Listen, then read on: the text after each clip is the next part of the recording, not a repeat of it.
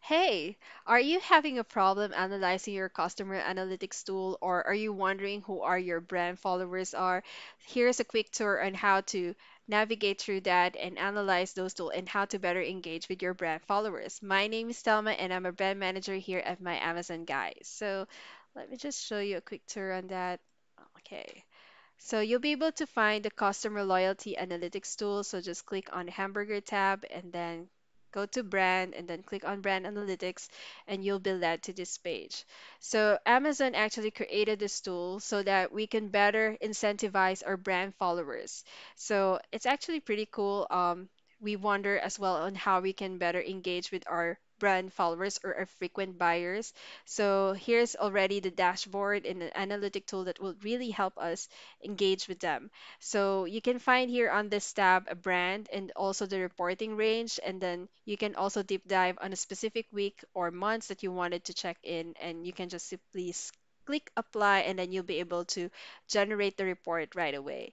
So here you can check as well. Um, they segmented it into top four um, types of customers. So there are top tier, promising, and at risk, and hibernating customers. So you have um, they actually have this report based on the recency, frequency, and monetary. So meaning to say how frequent and how recent did they purchase to your brand and how much did they spend on your brand.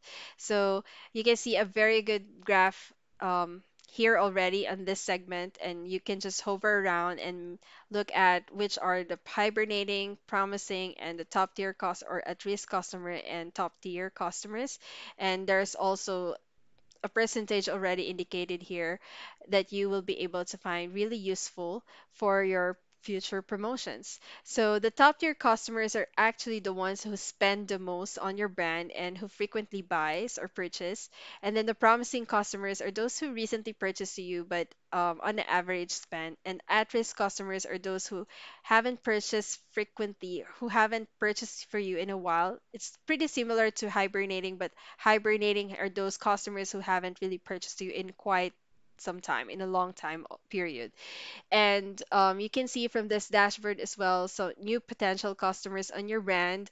So there's a total orders as well as customers, how many customers do you have. So this data actually generates on how many customers or brand followers that you have. And you can simply, if Amazon detects uh, based on their algorithm that you have good enough potential customers, you'll be able to get um, a button here like you can click for creation of promotion, which will lead to the brand tailored promotion.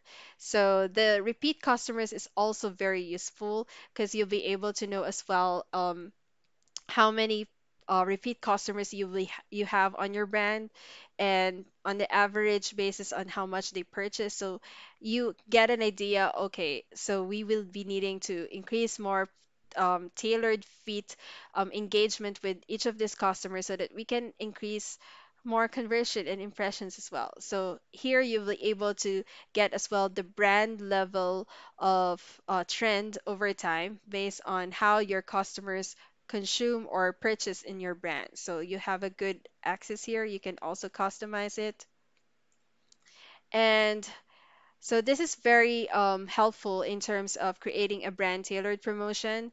So when you go to the advertising tab um, on the brand tailored promotion, you've noticed that there are they're tailored fit according to the audience of your brand. So there are several um, notes here of audiences, at-risk, brand card, and brand followers.